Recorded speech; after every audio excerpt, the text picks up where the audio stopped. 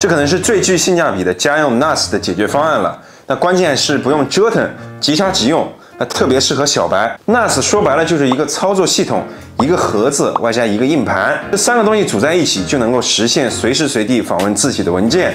那按照这个思路呢，我买了 Acasis 的硬盘盒，外加日立的企业级硬盘。那系统呢，我就用 iStoreOS，它里面自带了存储服务易有云，配置相当简单。把硬盘放入硬盘盒，然后接入到你的装有 iStoreOS 的小主机，然后在 iStoreOS 当中配置跨设备共享。那同时在你想要共享的设备上安装易有云的 App，比如你想通过手机访问电脑的文件，那你就在手机上安装他们的 App，注册登录一下就可以了。然后你就可以通过手机访问硬盘当中的文件，或者进行照片的备份等等操作。基础的 NAS 的功能呢，它都有，轻度使用呢绝对是够用的。那对于不确定自己是否需要购入昂贵的群晖或者微联通这种 NAS 的朋友呢，这个方法呢非常的省钱。那有什么问题呢？可以给我留言或者自行查阅易有云的文档。那今天提到的品牌呢，记得给我打钱。那手上如果有 NAS 产品的 PR 呢，也欢迎来联系我。关注大人，我们下个视频再见。